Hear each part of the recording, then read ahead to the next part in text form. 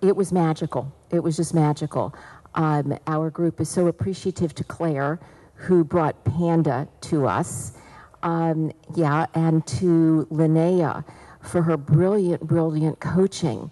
And without that piece, I mean, that piece was was so vital because um, when we were doing the exercises, I know that when, when I was in the ring with the, the boundary exercise, there was one point that she just, Lin- Linnea said to me, the horse stopped.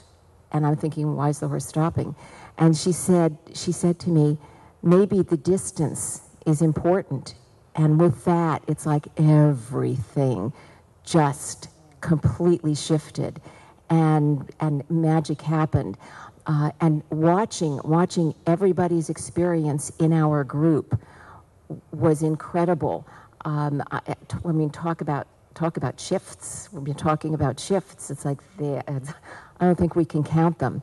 So I, I, know that that this is something that is truly experiential. There is no way that this could really be described.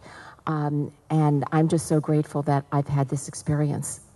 And I know I speak for everybody in, in my group. Okay.